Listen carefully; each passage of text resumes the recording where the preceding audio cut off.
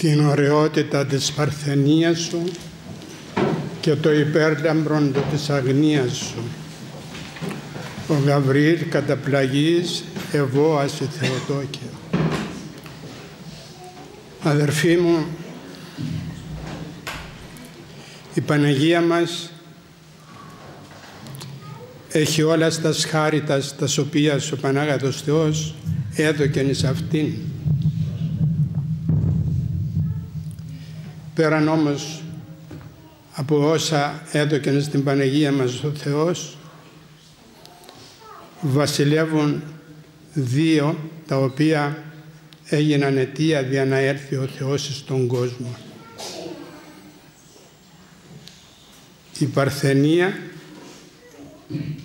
και η αγνώτης. Τι ζητούμε σήμερα; Μέσα σε αυτήν την κοινωνία την αμαρτωλή. Τι ζητούμε σήμερα να έβρωμε τα δύο αυτά μεγάλα χαρίσματα τα οποία έδωκε ο Θεός; Τι ζητούμε να έβρωμε μέσα σε αυτήν την κοινωνία, την Μιχαλίδα και αμαρτωλών; Μιχαλής διότι αρνήθηκε τον Θεόν, αρνήθηκε τον νηφίον Χριστόν και έφυγε με τον διάβολον. Και μένουμε και ερευνούμε να έβρουμε την Παρθενία και το υπέρλαμπρον το της αγνίας λέγει. Για να κατέβει ο Θεός έπρεπε αυτά τα δύο να υπάρξουν ως κλίμακα πάνω στην οποία ο Κύριος εστηρίχθη για να έρθει στον κόσμο τούτον να τον σώσει. Παρθενία λοιπόν. Τι σημαίνει παρθενία; Παρθενία σημαίνει να είσαι αγνό όπως σε γέννησε η μητέρα σου έως το μυστήριο του γάμου που θα βάλει το στεφάνινο ιερεύς. Και από το στεφάνιν εκείνο μέχρι τον τάφον αγνία και παρθενία. Η Παναγία μας είχε και τα δύο. Την παρθενία και την αγνότητα. Αγνώτης τι σημαίνει; Μετά από την παρθενία να αγωνίζεται ο χριστιανός, το παιδί του Θεού, να αγωνίζεται να έχει την διάνοια του καθαρήν. Αυτό σημαίνει αγνώτης. Η Παναγία μας ούτε ίχνος αμαρτίας για να προσβάλλει την αγνότητά της υπήρξε. Στον ήλιο εάν ερευνήσεις δυνατόν να έβρεις στίγματα παράσιτα. Στην αγνότητα της Παρθενίας μας δεν υπήρξε τίποτε. Δι' αυτό και ο Αρχάγγελος απορεί και εξίσταται. Τι να σε ονομάσω, της λέγει. Δεν έχω που να καταλήξω; Καταλήγω εσένα. Χαίρε και χαριτωμένη ο Κύριος μετά σου. Παρθενία. Ο Ευσέβιος ο, ο Ολύμπου, ένας πατέρας της Εκκλησίας μας, εκάλεσε εις τον κήπον της ασκήσεώς του όλας τα αρετάς αγάπη, πίστη, ελπίδα, πραότης, υπομονή, εγκράτεια.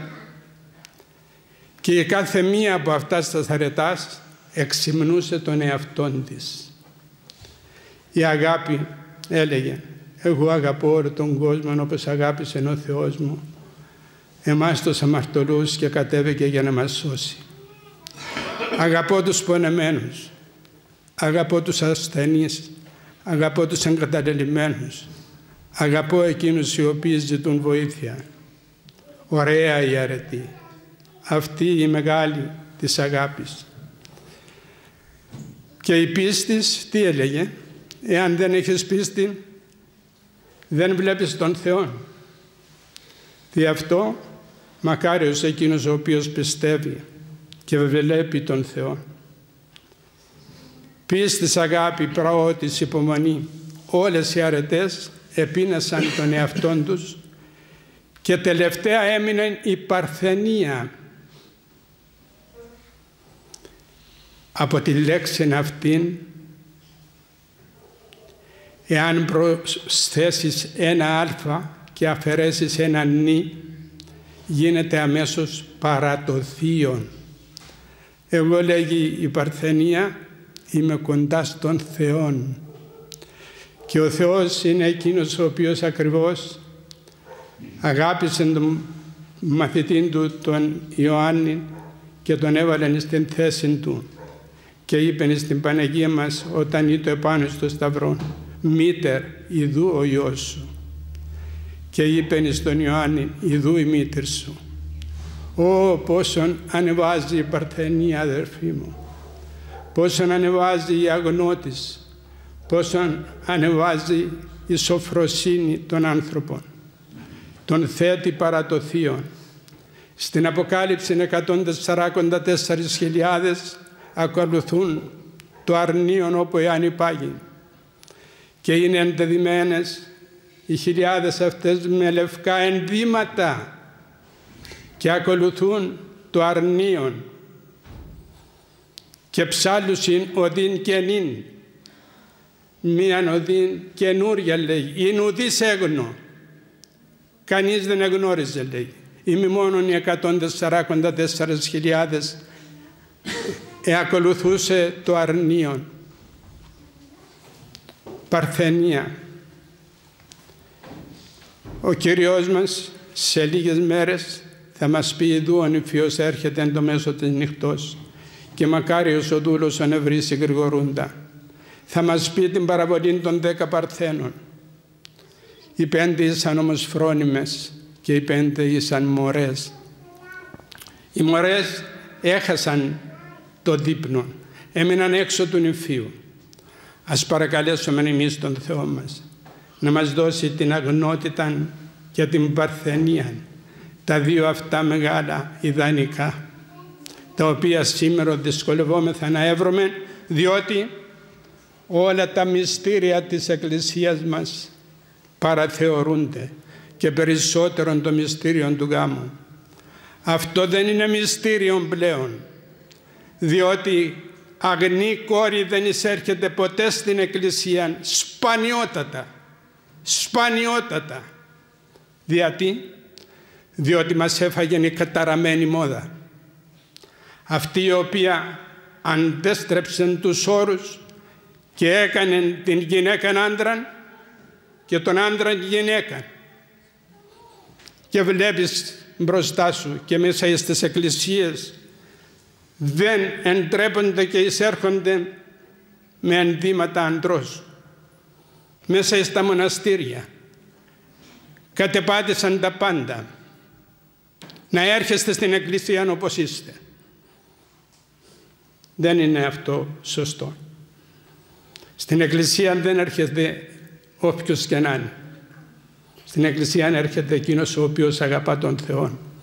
Αδερφοί μου μπροστά μας έχω ένα πλήθος κόσμου. Δεν ξέρω ποιος αγαπά τον Θεό και ποιος δεν τον αγαπά. Εσείς θα δείτε από ένα σημείο που θα σας πω. Την ημέρα της Αναστάσεως ο Κύριος μας θα πει «Αναστεί το ο Θεός και διασκορπιστεί το σαν οι εχθροί Αυτού». Εσείς θα καταλάβετε ποιος είναι εχθρός του Θεού και ποιος είναι με τον Θεό. Μόνοι σας. Δεν μπορώ να πω τίποτε άλλο. Δέστε τον εαυτό σας, ζυγίστε τον και εκείνοι οι οποίοι θα φύγουν δεν είναι με τον Θεό, είναι εχθροί του Θεού και διασκορπιστεί το σαν λέγει εχθροί αυτού. Μη φύγετε από την Εκκλησία την ώρα που θα ακούσετε αυτόν τον αγγελικό ύμνο. Μείνετε μέχρι το τέλος να ακούσετε τον Χριστό Ανέστη και τον κατηχητικό λόγο του Ιερού Χρυσοστόμου. Μείνετε μέχρι τέλους για να λάβουμε τον μισθό μας. Να μας αξιώσει ο Θεός εις τούτον τον κόσμο να ζήσουμε μαζί Του και να ερτώσουμε τα πάθη Του και να μας αξιώσει της επορανίου του Βασιλείας. Αμήν. Ουκ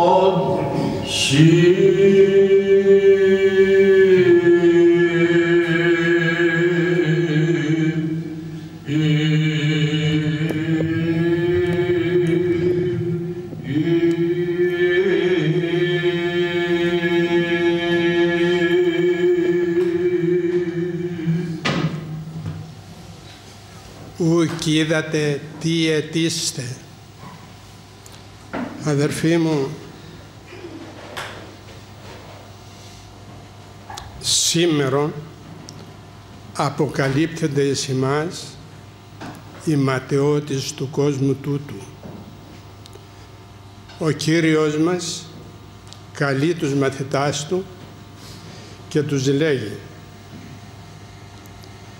«Ιδού αναβαίνομεν εις Ιεροσόλυμα και ο Υιός του ανθρώπου παραδοθήσετε της αρχιερεύσης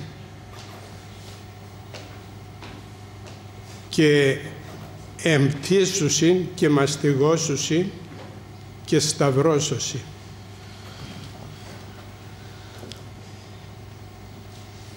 Οι λόγοι αυτοί του Κυρίου ακούνται στους μαθητάς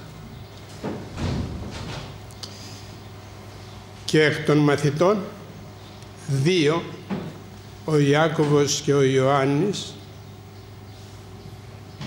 παρακαλούν πρώτα με την μητέρα του. Πηγαίνει η μητέρα και παρακαλεί τον Θεό. Και έπειτα παρακαλούν ήδη, Κύριε, θέλουμε ή να ποιήσεις ημίν ότι εάν αιτήσουμε.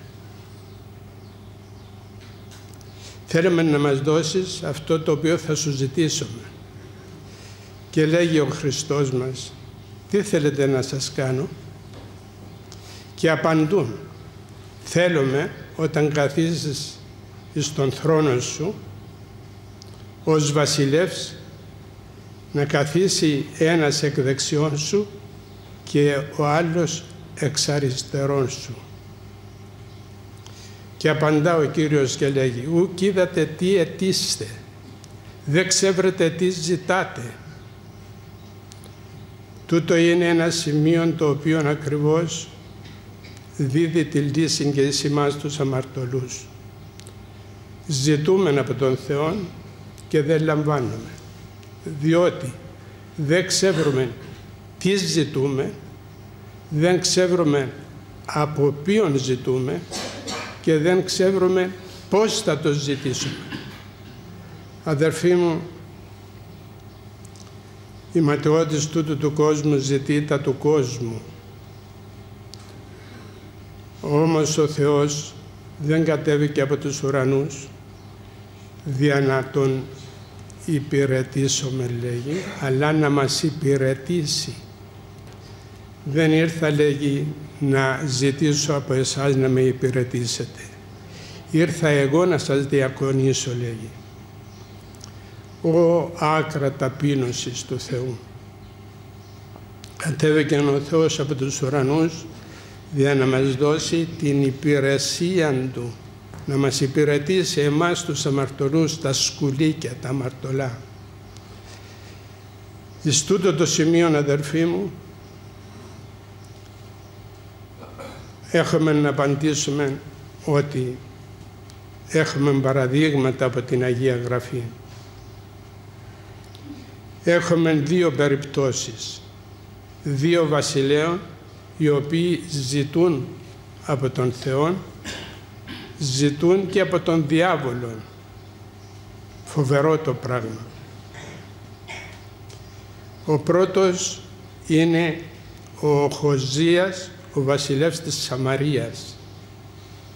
Από τη Σαμάρια ο Χοζίας, ο βασιλεύς, είναι άρρωστος βρίσκεται πάνω στην κλίνη του. αγωνιά, κλαίει, φοβάται, διότι έχει τον φόβο του θανάτου. Δια τούτο καλεί τους υπηρέτας του και τους λέει θα πάτε στην Σαμάρια εις τον Βάαλ, εις το άγαλμα του Βάαλ, δηλαδή του διαβόλου και να ζητήσετε να σας πει αν θα γίνω καλά ή αν δεν θα γίνω. Αυτά τα βλέπει ο Θεός από ψηλά και στέλνει αμέσως τον άγγελόν του στον προφήτη Ηλία. Του λέγει θα πάεις και να φτάσεις τους υπηρέτας του Οχοζίου και να τους πεις να επιστρέψουν πίσω διότι ο Οχοζίας επί της κλίνης επί της οποίας ανέβει εκεί θα μείνει και θα πεθάνει. Και έρχεται ο προφήτης Ηλίας και φθάνει τους υπηρέτας και τους λέγει να επιστρέψετε πίσω διότι απεφάσισε ο Θεός ο βασιλεύς να πεθάνει και επιστρέφουν πίσω και ερωτά ο προφήτης Ηλίας δεν υπήρχε Θεός στα Ιεροσόλυμα να αποτανθεί ο βασιλεύς; Και επιστρέφουν στον βασιλέα και ο βασιλεύς άρρωστος όπως ήταν είπε ο προφήτης Ηλίας επί της κλίνης εφής ανέβη εκεί θα αποθάνει και απέθανε διότι δεν ήξερε τι ζητούσε και από ποιον το ζητούσε και πώς το ζητούσε.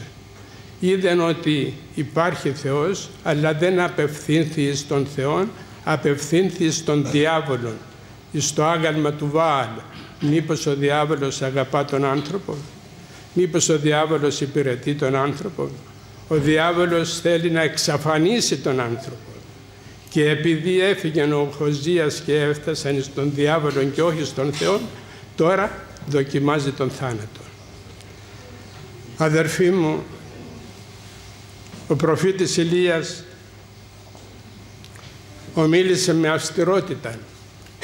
Ήθελα να είχα και εγώ την δύναμη του προφήτου Ηλιού και να απευθυνθώ προς τις μητέρας και στις κόρες το περισσότερο στις γυναίκας οι οποίες όταν αρρωστά ο άντρας ή το παιδί ή ο αδερφός ή ο συγγενής τρέχουν στη μάγισσα, τρέχουν στους μάγους, δεν πηγαίνουν στον Χριστό δεν πηγαίνουν στον Θεό να παρακαλέσουν τον Θεό, δεν πηγαίνουν στην Εκκλησία για να παρακαλέσουν τους ιερείς να κάνουν μία Θεία Λειτουργία, να κάνουν μία παράκληση στον Θεό, να κάνουν μία ευχή και να θεραπεύσουν τον άρρωστο. Πηγαίνουν στους μάγους για να έβρουν ανάπαυση πηγαίνουν στους μάγους, στον διάβολο για να τους δώσει παρηγορία. Δεν πηγαίνουν στον Χριστό ο οποίος έχει την δύναμη να αναστήσει νεκρούς, να θεραπεύσει πάσαν ασθένεια. Δεν πηγαίνουν σε εκείνον που είναι ο Πατέρας και εμείς είμαστε τα τέκνα Του. Δεν πηγαίνουν σε εκείνον ο οποίος μεριμνά για μας, αλλά πηγαίνουν στον διάβολο για να έβρουν σωτηρία. Η Ελλάδα μας έχει πέσει σε μεγάλο, πολύ μεγάλο βάθος απιστίας. Οι μάγοι αλωνίζουν ολόκληρη την Ελλάδα. Οι μάγοι όπου περπατήσεις, μαγείες. Όπου κοιτάξεις το διάβολο κούτιν εκείνον που λέγεται τηλεκόλασης, κάθε και λίγο έχει μία μάγισσα η οποία ασχολείται τώρα με τα άστρα, τώρα με την μαγεία της, τώρα με τα ψιθυρίσματά της, τώρα με την έχθρα της, τώρα με την εκδίκηση, τώρα με ό,τι έχει μέσα της. Αδερφοί μου, η Θεό Πανάγαθος Θεός είναι να φωτίσει αυτό το έθνος, να επανακάμψει, να επιστρέψει πίσω, να επιστρέψει στον Θεό, να επιστρέψει στη μετάνοια, στα δάκρυα. Αδερφοί μου, ο Χοζίας απευθύνθης στον διάβολο και απέθανε. Έχουμε Δευτέρα όμως μαρτυρία από άλλον βασιλεία τον Εζεκία, Ο Εζεκίας είναι και αυτός άρρωστος. Είναι πάνω στο κρεβάτι του και στέλνει ο Θεός τον προφήτη Ηλία, τον προφήτη Ισαΐα και λέγει πήγαινε στον βασιλέα Εζεκία και πες του να είναι έτοιμος διότι ήρθε η απόφαση του Θεού να αποθάνει να κανονίσει τα του οίκου του να κανονίσει τις διαθήκες του να κανονίσει ό,τι έχει διότι ήρθε η ώρα να κλείσει τα μάτια του δια να αποθάνει. Έρχεται ο προφήτης Ισαΐας, αναφέρει τούτον στο Εζεκία και ο Εζεκίας μόλις ήκουσε αυτό λυπήθηκε πολύ, πάρα πολύ λυπήθηκε. Εξέσπασε σε κλαθμούς, εξέσπασε σε θρήνους και γύρισε προς τον τοίχο, λέγει η Αγία Γραφή, και έχισε δάκρυα, πολλά δάκρυα, αναστεναγμούς και παρακα... παρακλήσεις στον Θεό. Και ο Πανάγαθος Θεός, ο πολυέλεος, ο πολυέσπλαχνος, ο τους δικαίους αγαπών και τους αμαρτωλούς ελαιών, έστειλε τότε τον προφήτη του και του λέγει πήγαινε να πείσει στον Εζεκία ότι ο Θεός εδέχθη τα δάκρυά του, εδέχθη την παράκλησή του, εδέχθηκε την προσευχή του και του παραχωρεί ακόμη 15 έτη ζωής. Αδερφοί μου, αυτός ο οποίος ήξευρε τι ζητούσε, αυτός ο οποίος ήξευρε από ποιον το ζητούσε, αυτός ο οποίος ήξευρε πώς θα το ζητήσει, ο Θεός τον ήκουσε. Δεν είναι να κάνουμε προσευχές, αλλά σε ποιον τις κάνουμε τις προσευχές. Δεν είναι να ζητήσουμε από τον Θεό, αλλά πώς θα το, το ζητήσουμε, με ποιον τρόπο. Δεν είναι να κάνουμε θυσίες στον Θεό, αλλά να δώσουμε την καρδία μας στον Θεό. Εκείνος είπε, καρδία καθαρά, καρδία συντετριμένη και ταπεινωμένη ο Θεός ούτε εξουδενώσει. Όταν έχεις την καρδιά σου ταπεινή και με τον φόβο του Θεού και την αγάπη του Θεού, ο Θεός θα σου δώσει αυτό που τους ζητείς. Ναι αδερφοί μου, πήγαν οι μαθητές στον Κύριο να τους ζητήσουν επί γης θρόνους, ότι θα καθίσει επί θρόνου βασιλικού. Μα εκείνος τους είπε δεν πηγαίνω για να καθίσω σε θρόνους. Η εμή βασιλεία ουκέστην εκ του κόσμου, αλλά από τον ουρανό η βασιλεία μου. Αδερφοί μου, απέτυχαν οι δύο μαθητές. Το μόνο που απέτυχαν ήταν ότι εκέρδισαν την αγανάκτηση των άλλων μαθητών. Και ο Κύριος, ο οποίος τους είπε «Εμεί μάθετε, ήρθατε στο σχολείο μου, το δικό μου, της ταπεινώσεως, να μάθετε να είστε ταπεινοί. Εγώ πηγαίνω για να μην βάλω βασιλικό στέμμα στην κεφαλή μου, αλλά κάρθινο στέφανο. Πηγαίνω όχι για να κηρύξω στον κόσμο τούτον τη βασιλεία μου, αλλά να σταυρωθώ και να χύσω το αίμα μου για τα παιδιά μου τα οποία με αγαπούν. Αδερφοί μου, να παρακαλέσουμε τον Κύριό μας όταν κάνουμε προσευχή να την κάνουμε όπως θέλει Εκείνος. Να παρακαλέσουμε τους ιερείς όταν έχουμε ασθένεια. Να παρακαλέσουμε τον Θεό μας και την Εκκλησία Να παρακαλέσουμε και να ζητήσουμε από τον Θεό το έλεος Του. Να παρακαλέσουμε τον Θεό μας με προσευχές και με νηστείες. Να τον παρακαλέσουμε και να ζητήσουμε από τη χάρη Του ό,τι έχουμε ανάγκη. Πάτερ ημών εν της ουρανής, αγιαστήτω το όνομά Σου λέμε. Ερθέτω η βασιλεία Σου, γεννηθήτω το θέλημά Σου, ως εν ουρανό και επί της γης. Όταν ξέρουμε πώς ζητούμε από τον Θεό, τι ζητούμε από τον Θεό και πώς θα το ζητήσουμε από τον Θεό, ο Κύριος μας θα μας αξιώσει αδερφοί μου.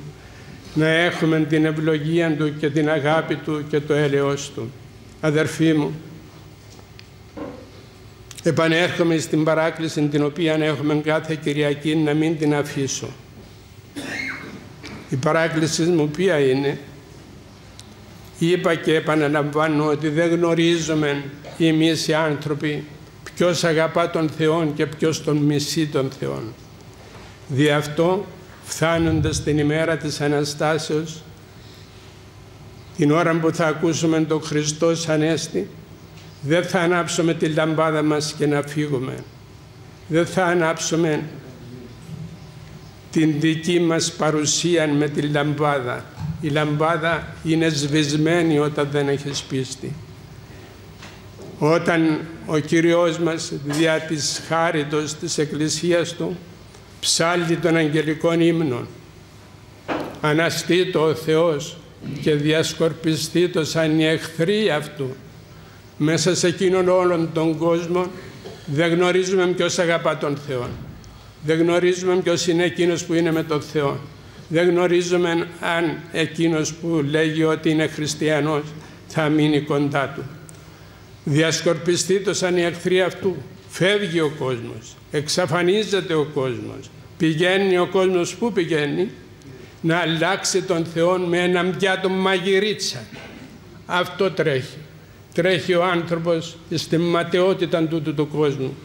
Τρέχει ο άνθρωπος για να ευρεί τα της γης, όχι τα του ουρανού.